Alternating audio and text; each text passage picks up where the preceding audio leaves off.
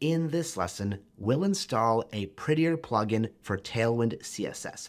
This is an extension for Prettier that will allow Prettier to sort or organize the order of the Tailwind CSS classes that we apply to a given element.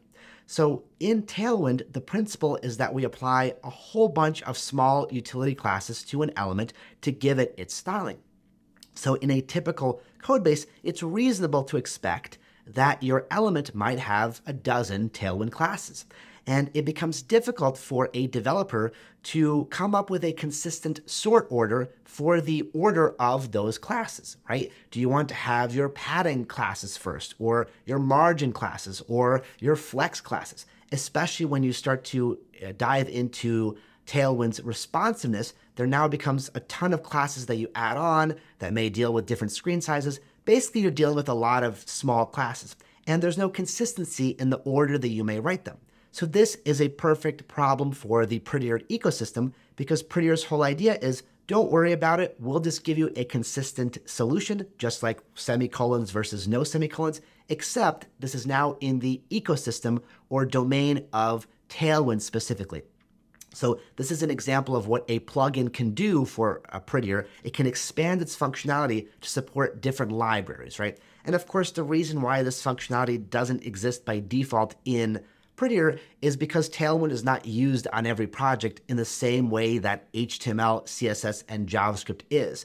So Prettier is kind of a, a, starter pack that includes support for the most common file types. And then for something a little bit more obscure, we add on a plugin if it's available to support formatting for that ecosystem. And in this case, we're adding support for formatting in Tailwind. So let me show you how that's going to work. Here in my terminal, I'm going to execute npm install. It's going to be a dev dependency. So I'll add dash dash save dash dev. And our library is called prettier dash plugin dash tailwind CSS. Plugin in this case simply means extension. We're simply plugging it into Prettier as an additional expansion pack on top of the core library. And the beautiful part about this plugin is we don't have to do any additional setup or anything like that whenever Prettier runs, Prettier will look at its starter pack and then it's going to look at its available extensions or plugins and it's going to apply all of those changes all at once to whatever files it's targeting. So we already have an npm run format command that will run Prettier on all files in the source directory.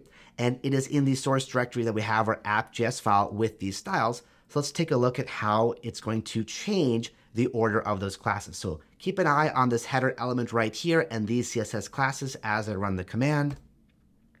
And you can see it reversed the order of a couple of them. Let me just show you one more time. If I go into here and I just drag these things around, right? Maybe I'll bring my text to Excel class to the very beginning when it's now at the very end. Maybe I'll move flex column to be, sorry, I'm having a little bit of trouble with copying and pasting here, but I'll move flex column to be between flex and H screen. You know, I'll add justify center, let's say at the very beginning. It's easy to see how even if you have your own consistent sort order, it might become difficult to maintain it across many different files. Let's say there's a hundred different components with a hundred different elements being styled by Tailwind. It's hard to maintain consistency, especially between developers, if all the developers are using Tailwind, right? So this is a perfect example where Prettier encourages consistency and organization. So once again, I'm going to run npm run format. And you can see it's going to bring those classes back to be in a consistent order. I, I, don't really care what the order is. That's the whole sentiment behind Prettier. We'll let other developers, the developers who built Prettier and this plugin, worry about it. We just now have some degree of consistency in our own code base, whether it be the semicolons, the spacing, the tabs, and now the Tailwind CSS classes. Now it's not perfect. You'll notice here we do have an extra space between these classes right here, so we might need to adjust things even after Prettier has done its work. But believe me, Prettier saves you a lot of time, a lot of clicking and space presses and enter presses because it does give you that beautiful formatted uh, file uh, very quickly. And now we can see it even expands to support other things in other ecosystems, other libraries, other domains. All right, so hopefully that makes sense, and I will see you in the next lesson.